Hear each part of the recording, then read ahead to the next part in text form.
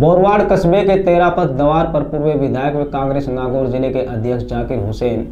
देशावत का युवा नेता के समीम खतरी की मौजूदगी में भव्य स्वागत किया गया वहीं मिली जानकारी के अनुसार गैसावत मकराना में कांग्रेस का बोर्ड बनने के पश्चात नागौर से अपने समर्थकों के साथ बोरवाड़ होते हुए मकराना पहुंचे